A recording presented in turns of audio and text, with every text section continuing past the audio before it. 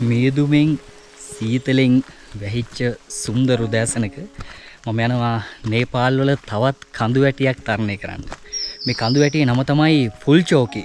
ඉතින් අපි ගිහිල්ල බලමු මේ ෆුල්චෝකි කඳු වැටිය මොන වගේ අත්දැකීමක් අපිට එකතු කරයිද කියලා.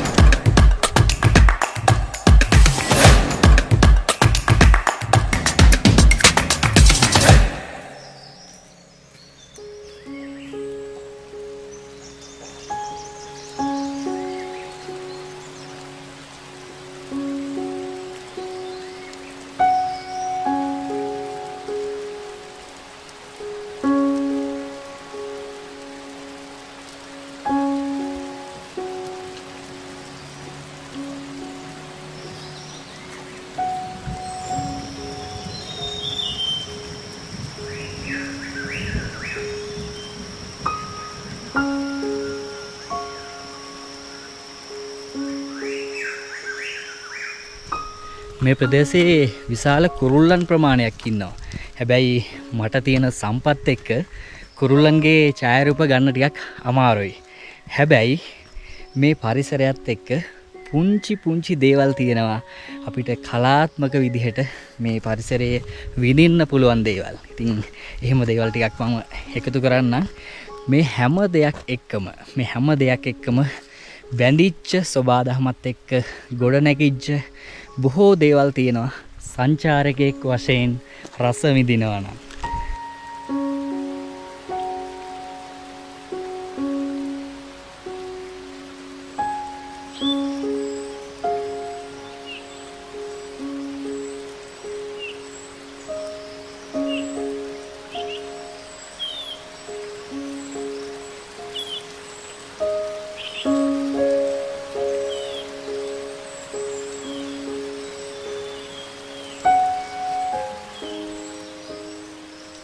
ප්‍රධාන මාර්ගය ඉදලා කිලෝමීටර එක්කොලහක දුරක් ඇවිල්ලා තියෙනවා මෙතෙන්ට.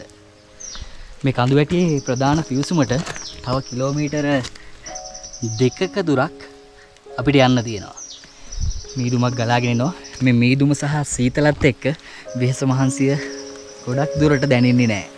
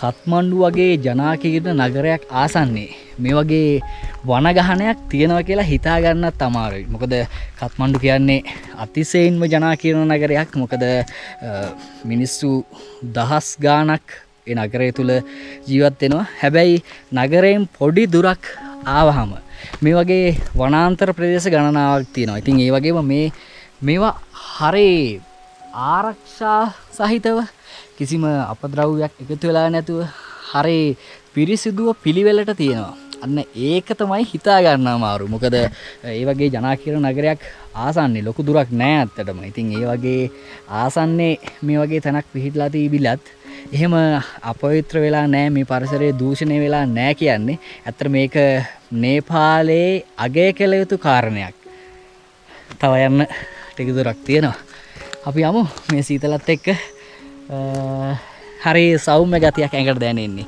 සමහර ප්‍රදේශවල අපි දන්නවනේ පාලුවල ගියපු හම අධික රස්නයක් තියෙනවා. එවගේම කඳුකර ප්‍රදේශ අධික සීතලයි. හැබැයි මේ කත්මණ්ඩු ආශ්‍රිතව මෙන්න මේ පරිසර කලාපේ පොඩි සෞම්‍ය ගතියක් තමයි තියෙන්නේ.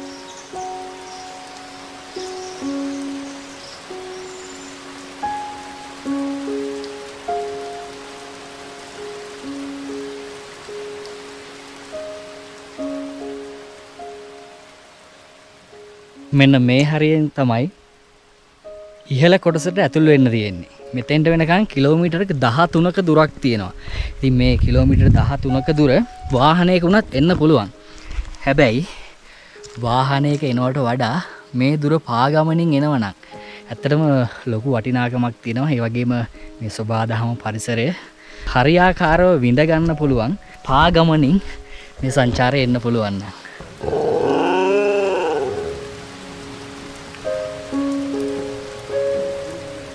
හරි විශේෂ අමුතු දෙයක් තින මේ කඳු මුදුරට අවට පස්සේ. නේපා ලාමියකෙන් එන හැමෝටම කෝපිය එකක් දෙනවා. එක මාර වටින දෙයක්. අනිත් එක ටිකක් වෙනස් විදිහ අත්දැකීමක්. කඳු මුදුන කරන නැගලා කෝපය එකක් සහ බිස්කට්ටිකක් හම්බෙනවා කියන්නේ. එක වෙනම අත්දැකීමක්. මේ සීතලත් එක්ක සීතල පරිසරයත් එක්ක. මේක ඇත්තටම මාර වටින දෙයක්. නේපාල් රජය වගේම නේපාල් ආමියක සිද්ධ කරන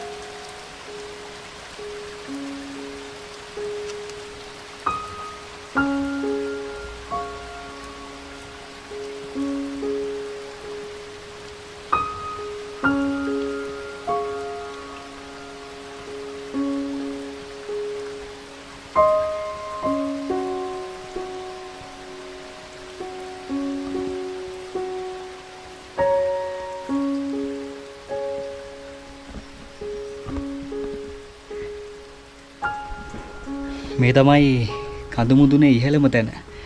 මෙතන ආගමික පොඩි පුද පූජා කරන තැනක් තියෙනවා. ඒ වගේම ලොකු සංඥා කුළුණක් තියෙනවා. ඉතින් මේ දේවල් තමයි මෙතන විශේෂයෙන් තියෙන්නේ. බලමු තව චුට්ටක් වටපිටාවේ ඇවිදලා.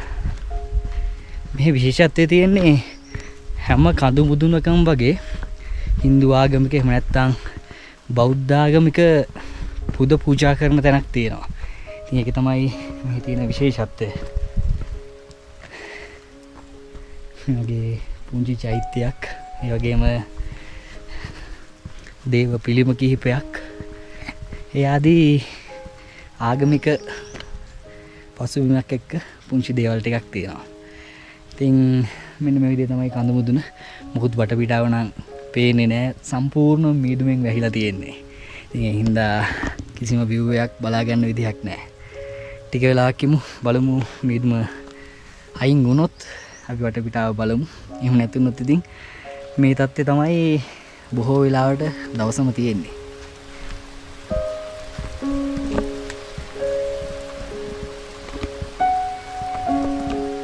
ඉතින් මේ සුන්දර පරිසර කලාපයත් එක්ක බැඳිච්ච වෙනස්ම විදි වීඩියක් තමයි මං අදරගෙනාවේ මේ නේපාල්වල අත්දැකීම් ගණනාවක් එකතු කරගන්න කරුණුකාරණා ගොඩක් තියෙනවා. මේ විදිහේ කඳු වැටි දියඇලි වගේම මිනිස්සුන්ගේ ජනජීවිතය හා බැඳුණු ගොඩක් අත්දැකීම් මං ඉස්සරහට අරගෙනන්න හිතාගෙන ඉන්නවා. ඉතින් අනිවාර්යෙන්ම චැනල් එක සබස්ක්‍රයිබ් කලා තියාගන්න. ඒවගේම ලයික් එකක් කමෙන්ටයක් දන්න තමත කරන්න එපා. ඉතිං තවත් දවසක මෙ නේපාල්වල වෙනස්ම විදිහ අත්දැකීමකින් අපෝ හම්බෙමු. මම බුද්ධික මහේෂ් කොඩිකාර